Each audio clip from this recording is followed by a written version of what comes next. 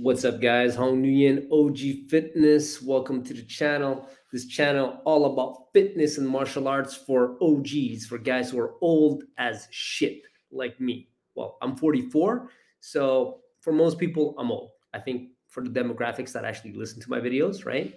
Um, but yeah, obviously, there's always people who are older. So in this video, we're gonna talk about one randori a week and why you should only do once a week randori, hard randori, okay?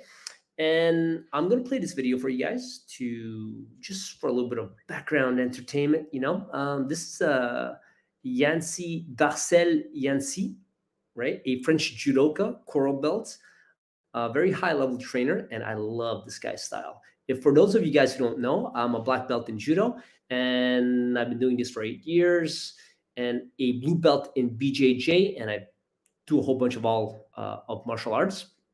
I love it all. I'm a martial artist um, first off, and then after that, a judoka uh, second, and then everything else afterwards. Okay, so and oh yeah, so my when I first started judo, my first ju uh, judo coach was actually a French judoka.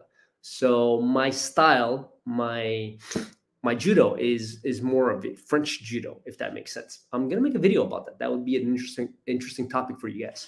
Uh, you know, be, the difference between French judo, uh, Japanese judo, um, you know, Eastern Eastern Bloc Euro, uh, judo, and and so on. But let's stick to the subject at hand. Let me just play this video for you guys. Turn off the volume. Boom. All right. So why do I think that you guys should only, especially, especially if you're an OG, if you're an older guy, you have stuff to do, you don't want to get injured, and so on and so on. Okay. So why would you only do Randori once a week? Well, there's a lot of benefits to this. And the first one, and, and listen, this is true across all martial arts, all disciplines. So whether you're striking, you're grappling, or um, you know, yeah, well, those are basically the only two. I just covered everything. But yeah, uh, in boxing, in wrestling, it's all once a week, man. It's all once a week. And even then, all the all the top level coaches, uh, they all agree it's once a week. If you're doing more than once a week hard uh, randori or hard sparring, it's it's detrimental. It can be, and you know why? Because you're going to get injured. Like the risk of injury when you're doing things uh, at hundred percent even in grappling, man, like in judo, like if you don't uh, give your body a break, things are going to start to um, to get fatigued. You're not you're not going to have time to recover. And then when you're tired and you train hard, that's like the, the recipe for disaster, right? So really just once a week. Um, and okay, so first things first. And oh, here's the thing you have to actually be able to spar, you know, hard, right? But before you're able to spar hard, let's say once a week, you actually have to be able to spar light. If you can't even spar light, right? You can't even go light in, in Randori or in sparring. I'm going to interchange these two terms. Sparring, usually, um, where we think more of striking arts, you know, like boxing, kickboxing, you know, MMA. And in randori, randori is actually a Japanese term for free practice, but it's it's essentially sparring. Okay, so before you can get into hard sparring, you have to actually get into light sparring, and you have to get good at it. So you have to be able to uh, go light, or you know what they also call it, uh, touch sparring, so where you're just touching your partner. If you're doing striking, if you're doing um, you know grappling, then you have to be able to go light. You have to be able to flow roll, or in judo, it would I guess there's not really a term for it, but just go light, right? Play. Okay, and because if you're not able to do that when you go hard, eesh, it's gonna um, it's gonna be a disaster, man.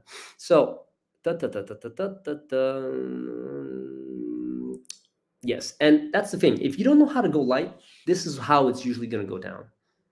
If you can't go light, and then you do hard sparring once a week, the person that you're gonna go with they're gonna crank it up as well the intensity. Because you're not because you can't go light then they're not to go light. It's to escalate usually. That's what happens. And then you're to get smashed. Even if the person is um whatever the person is on your at your level or higher they're gonna they're gonna end up smashing you right? Or you're gonna end up smashing them. And anyways it's just not good. So that's that's going to be detrimental to your progression as well. If you get smashed or if you smash people and then you, somebody else comes in and smashes you and yeah there's no you know it's it's you're, you're going to get you're going to improve a lot slower like that if you don't know how to spar. Once you know how to spar light right you know how to flow roll you know how to play then going hard makes sense. Once a week. Okay and so, what do you do when you, don't, uh, when you only focus, when you only do hard randori once a week? Well, you would do other stuff. You would focus on techniques, on technique. You would drill a lot, okay? And you would focus on your conditioning. So, conditioning meaning you would work on your athleticism, okay, with different types of drills and all that for your sport. Um, and you're to work on your um, your technique, of course, and you're to drill a lot and you're going to see if you do more of that, okay, 80% of the time, 80 to 90% of the time, you're just drilling, working on technique, working on your conditioning, getting stronger, getting more athletic, getting more um, work on your agility, your balance, your uh, your timing, you know, your fight IQ, all these things 80% of the time. And then, you know, 80 to 90% of the time. And then 10, 20% of the time, okay, then you do your your your hard sparring, right? So that you could uh you can really get a feel for it and really to be able to perform under pressure, right? Because you, you got to test it out. You got to take it for a test run, right? To see where your skill level is at and where your body is at. And then you go back to the drawing board um, after that and you see how you did. And then from there, you make your adjustments. And that would be like the way to go about it. So let me just take a look at my notes here quick, quick. Um, and also, you don't get injured like this. Like if you if you just let's say for example you do one hard session, but then after that you're injured. Well, take more time off. You don't have to do once a week. I'm just saying once a week would be the maximum, right? Now this is not if you're in a training if you're in a like a, a training camp preparing for a competition. Then this is going to be different. So obviously you're going to have to talk to your coach and see how they, um, you know, they're able to schedule that up and all. But I mean, yeah, you might do more, you'll do more randori, but still it's going to be spaced out properly. You might do two hard sessions a week instead of um, instead of one, but your body's going to be prepared for it. You know, you because if you on the so-called off season, you prepare the body properly and you've been training properly up until that point, most likely it's going to be like two hard sessions a week you know and then after that as you get closer to competition obviously they dial it back down because you need time to recuperate and and to to let everything heal so that you're ready for competition, right? So yeah, it never really passes like two times a week, you know. So you could do randori one time hard, but you know the second time if you do it, it has to be a lot lighter. And I would suggest for the most part, I think it's better just once once a week from my experience, man all right, let me just take a look at my notes here. Yeah, because you get injured, guys. Honestly, like if you're if you're if you're an older gentleman and all that, you don't have time to get injured. So you, might not even want to do like hard hard sparring once a week. You might just do it once or whenever when you feel ready. But you might just do light sparring once a week. You know, with people that you trust. Okay, so what else? Man, I think I, I, covered everything already. Wow, this is amazing in like about eight minutes. Um, strength and speed. Okay, so here's the thing. Why should this is the last point, right? Because I pretty much covered everything. So I'm, I'm actually pretty happy about that because I usually tend to make these videos a little bit long. Um, and okay, all combat sports are power sports. And because they're all power sports, that's why you have to spend most of your time, um, you know, getting stronger, perfecting your technique, perfecting your timing, working on your athleticism. Okay, uh, so that would include like working on your balance, your uh, your agility, your um, your setups. You know, your your ability to stabilize. You know, uh, your muscles to fire. You know, I, and I honestly, for a little while there, I was actually against all of this, I, I, was thinking to myself, man, you don't need all this this fancy training uh, stuff. All you have to do is practice your sport and then just focus on getting strong. But now I realized I I was wrong on that.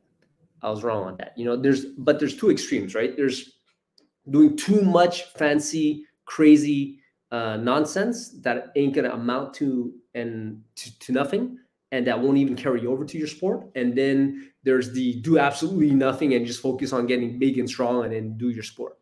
You know, there's a balance to be made there. I'll make another video about that, uh, what I'm currently working on. But um, yeah, that's it for this video, guys. So what do you guys think? Do you guys agree with once a week? How? What's your experience? Do you think that you need more? Uh, and so on. And yeah, just put it down in the comment section and uh, let me know what you think. Now, um, I I want to say that there is a place for volume, and usually, like the high level people, when you when you see them uh, train, and like they don't do a lot of randori because you know they kind of already done all of that when they were young. They've had a lot of volume, and even when you're a kid, like you don't do. It's not as um, it's not as dangerous, you know, to do a lot of volume when you're a kid or depends on how you do it. But they're doing it light though, right? Even as a kid, like think about it. You're a lot smaller. You're a lot lighter. You know, you're um, you're playing for the most part. Obviously, there's there's kids who who go who go at it, but you know they're they're they're ready for it at that point. It goes into progression. But what I'm saying is, even the kids, like they don't um, you know, never mind. I think that the kids is the same thing. Like they do a lot of volume, in terms of techniques and drills and all that. And then even the randoris, it's I mean, they have more time. That's what it is. Because they if they start competing and doing randori, like let's say once a week or two times a week, uh, then you know, like let's say they start at five. By the time 10 year comes around, well, they're already, you know, way more, they have a lot of um, uh, randori under their belt, right? So that's it for this video, guys.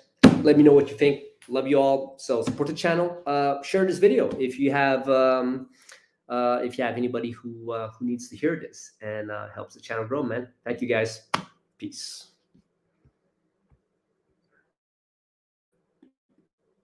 Mm -hmm.